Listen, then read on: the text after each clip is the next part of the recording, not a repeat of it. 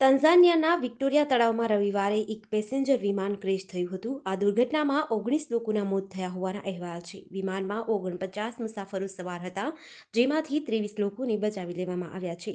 તંઝાનિયા પોલીસના જણાવ્યા અનુસાર, ખરાબ હવામાનના કારણે વિમાન તળાવમાં ક્રેશ થયું હતું. વિમાન ઉત્તર પશ્ચિમ શહેર બુકોબામાં ઉતરવાનું હતું. આ દરમિયાન અકસ્માત સર્જાયો હતો. પોલીસે વધુમાં જણાવ્યું હતું કે મુસાફરોને બચાવવા માટે રેસ્ક્યુ ઓપરેશન હાથ ધરવામાં આવ્યું હતું.